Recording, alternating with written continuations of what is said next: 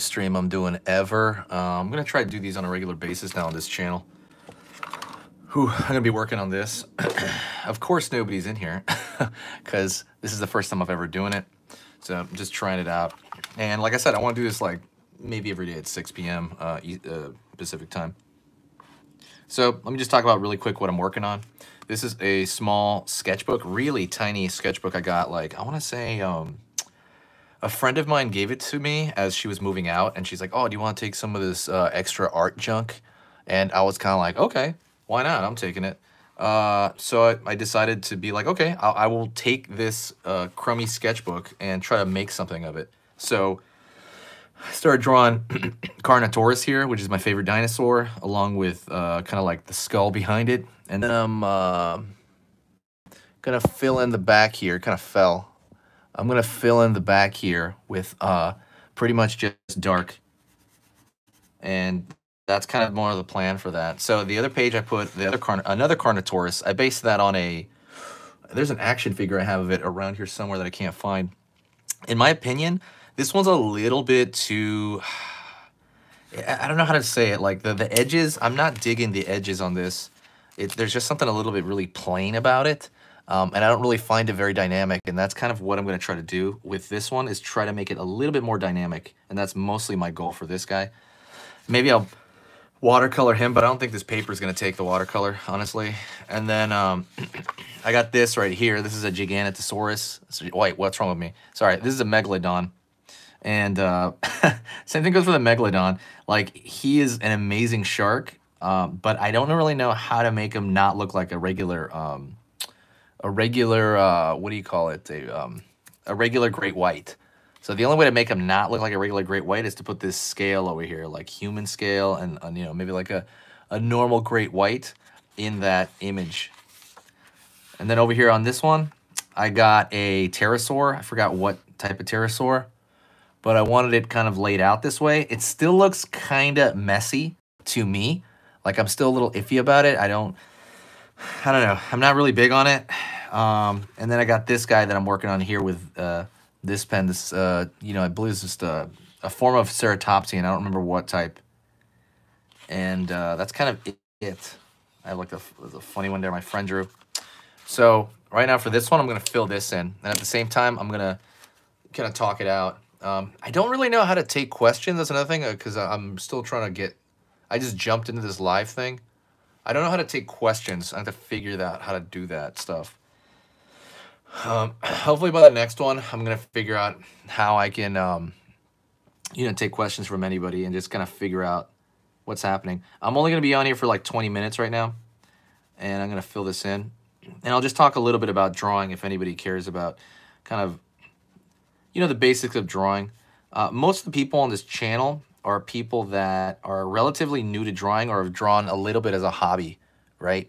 And when you're drawing a little bit as a hobby, it tends to uh, like if you've been drawing as a hobby your whole life, it's a great thing to do, right? It's a great hobby to have, to draw. But sometimes, like some people, you get to this point where you're like, hey, I should become good, right? When you do it as a hobby, you're not going to become as professional as you could be uh, or as good as you could be because you're doing it every couple of months. I have a lot, almost all my close friends are like that. They do it once in a while. They'll do a really good piece every couple of months. And that's kind of it. In between that, they don't really draw. They don't practice. They don't really give any uh, sort of uh, kind of effort into kind of becoming like a consistently good artist. And uh, I, I try to address those people more. I try to address people who are beginners, but actually want to do something with it, right? You really want to do portraits for your family. You really want to you know, draw dinosaur stuff like this. This you want to draw characters you like from movies. Um, it's probably one of the greatest feelings ever to be able to draw whatever you want. Like when you're more or less like uh, like if you watch a movie, like for example, I'll give you an example. Like I love Ninja Turtles growing up.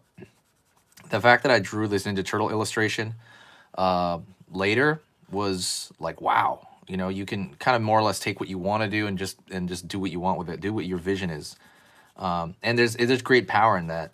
So I get it. So you want to make it there, right? You want to be able to just like draw some of the characters that you kind of grew up with.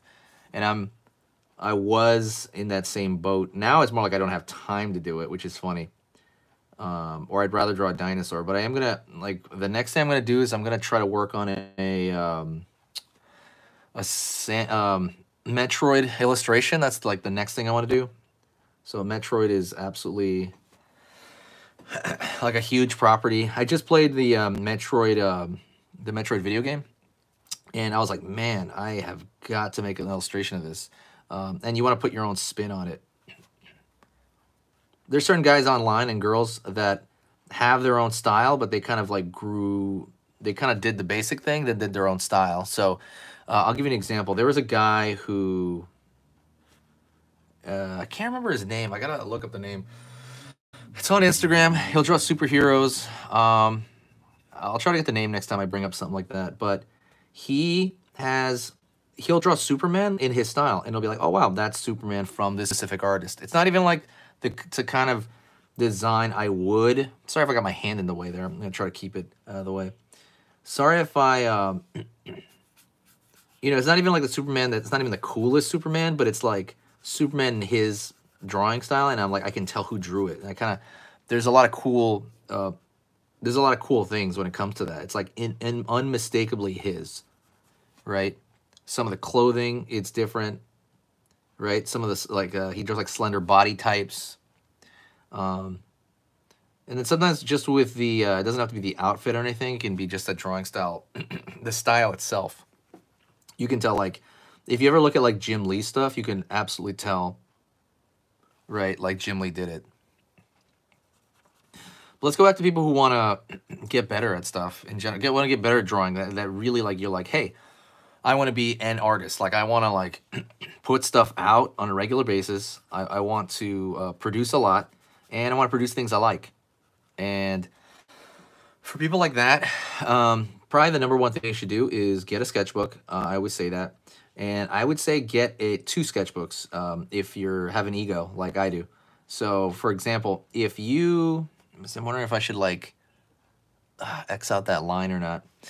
Right here, there's this line right here. I'm not sure if I should do it. So, like, if you, for example, want to, uh, if you want to get better, hold on, I'm trying to think of this. If, if you want to get better, uh, if you have an ego per se, and you have a sketchbook, and you don't touch your sketchbook sometimes because you don't want to draw a bad drawing in it. That's a really common thing. Um, get two sketchbooks. That's what I did and I still do. I have one sketchbook that I like. This is actually a third one, I guess. This is a mini one. But I do value the drawings here a lot more. But you want to get like a sketchbook where you're just experimenting. You're just drawing anything you want in it. Uh, and then a sketchbook where you really will do nice, finished, uh, careful things, right? You want to get those too. So uh, I, I would say like absolutely kind of take that route if you can. Like do do the um, like use the experimental sketchbook to just do whatever you want, and then if you mess up a page, who cares? You're not going to show it to anybody. And then you have like the nicer sketchbook that you show to people and um, doing that, you're going to be surprised because the thing is, if you only have one sketchbook and you're worried about, um, and you're worried about making a horrible drawing in it and then having to get rid of it, um, that is bad, right? That, that will prevent you from doing stuff that you want. Um, it's going to prevent you from practicing that day, and you don't want to be that way. So, but if you have that crummy one, you're going to practice no matter what. Think of it like a warm-up I always do that, do a warm-up drawing in like a crummy sketchbook. And the more you do that, that's going to help you out, um, you know, 10 time, tenfold. You're going to be getting way more practice, way more, uh, way more drawing time than, than uh, another one would, you know, uh, some other guy would. I wonder if the marker would work here. I'm a little worried, but I'm going to try the marker out here with you guys. Um, or like nobody's on here, but like I said, I have to be, I'm going to be, I'm going to try to pick a streaming time and uh, I want to stream like constantly. I want to stream like every day if it's possible. I just don't know what time. Everybody does it in the morning, and I'm like not an early bird at all. so I was thinking like maybe the afternoons, like because right now 6 p.m. Maybe like afternoons at 6 for an hour. I could probably swing that. Um, I could easily do that. I just don't know if like as many people get on at six in general.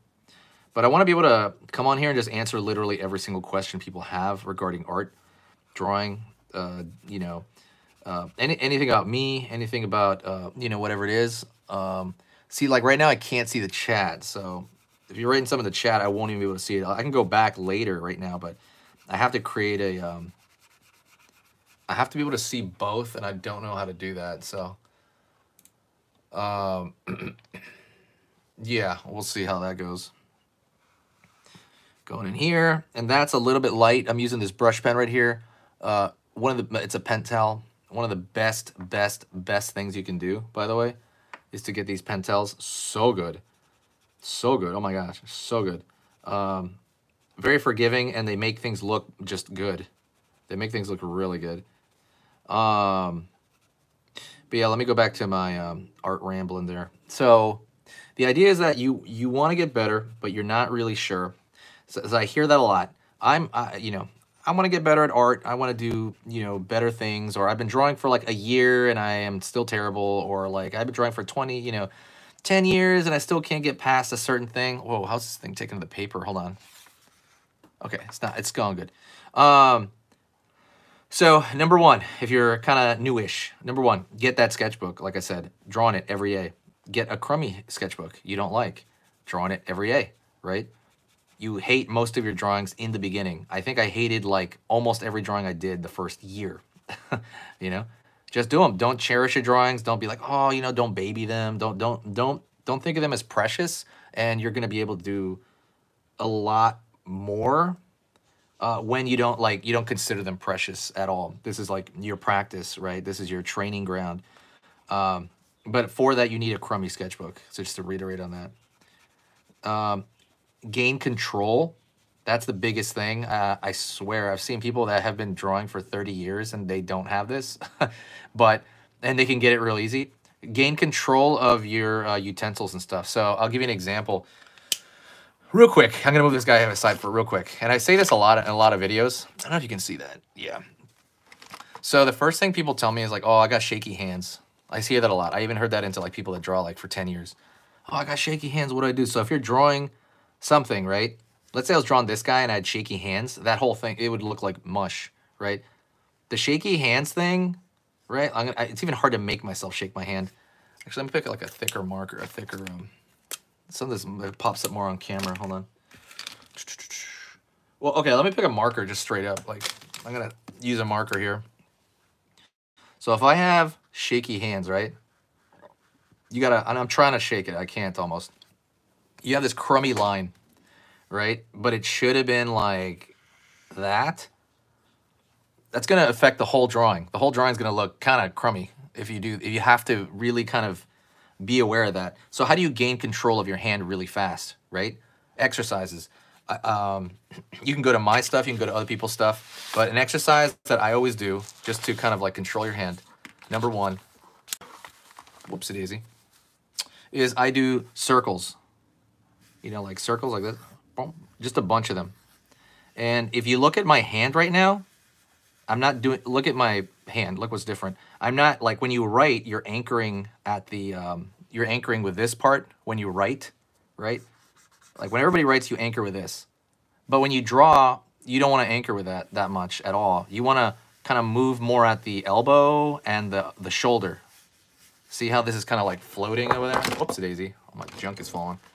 Um, but you want to be able to move. See how that's moving freely? I am using it as an anchor a bit, but I'm like moving. It's like moving. So you have this big range and it allows you to do stuff like much, like your, your range is so much better.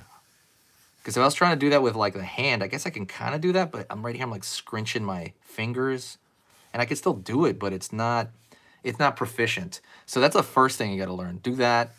Always uh, move it, move in a combination of your shoulder, elbow, and then just you're sliding your, your, you are anchoring with this, but you're kind of sliding it around. Right? Don't draw the way you write, because you write, you know, like with your anchored like this. All right, that's the first thing. And then you want to gain control in this position, because the first time you do this, it's going to be like, whoa, you know, I mean? it's going to be really crummy. and wacky. You want to do like a page of circles, both directions, like over here, clockwise and counterclockwise, and see if you can fit them in to each other. I know this seems like super basic and ridiculous, but that's I still do that as a warm up because it, it kind of wakes your arm, your hand up. But you do that, and you start gaining control. That's one exercise. You can, there's a bunch, by the way. Uh, if you want to know more, go check it out. Uh, I'll try to link something in the description there. Um, program entirely like on 10 exercises to just like, I'll, I'll teach you one more. So one more exercise is, um, let's do a blank sheet of paper here. One more exercise is you put like a dot, let's say over here on one side of the page and a dot over here on the other side, right? And I'm gonna go right here and the idea is I'm gonna try to hit that point in one shot. Bam. See, I went, I missed it, like right there. I'm gonna do it again, let me see. I'm gonna float above it just to kind of like practice it. Dang, see, I'm like a little bit off. I'm like right there. And then I do another one, another one over here. I try to connect those dots in a different direction. That's exercise two. That, you're, you're gonna feel what I'm talking about, where your hand's really gonna start gaining control over the time, you know? Um, see, even that, like I'm really close, but when you first do that, it's like way off, right? And if like I had coffee, I'm like way off or something like that. I don't really drink coffee. Um, but doing that stuff, um, really, really, if you if you do that kind of stuff, like those 10 exercises I have on the thing, or even just those two, and you, you know, like I said, move the shoulder. If you do that stuff for, let's say do a page of circles and a page of stuff like that, um, you're going to gain, uh, maybe do it for a month every day for a month because it's fast, right? It takes like, what, 10 minutes? Um, your control is going to go through the roof, like way through the roof. Um, and control is the first part of drawing anything like at least neatly, right? Um, then, you know, the, obviously comes the stuff like anatomy, the stuff you build on top of it, like value, shading, like the sun, what, you know, what direction things are coming from. Let me try to color this guy. What color should this guy be? I'm gonna, I'm gonna use marker to color this guy. Let me see how dark this stuff is. How dark does it go down on here?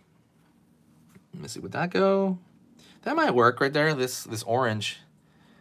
Uh, I just hope it doesn't like, well, all right, I'm gonna experiment. That's what this is for. So I might ruin it right here. So let's get started. That looks all right. I kind of dig that.